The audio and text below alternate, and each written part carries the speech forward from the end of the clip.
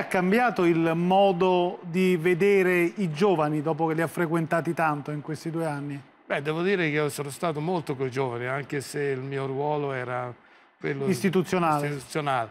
E se, fin da ragazzo, fin, anche Quindi... quando ero giovane sacerdote. Ma oggi veramente vedo una gioventù completamente diversa, nuova e, e aperta a tutto, anche ai rischi, anche ai pericoli. Anche... Però quella che noi vogliamo vedere è di dare, di dare spazio e fiducia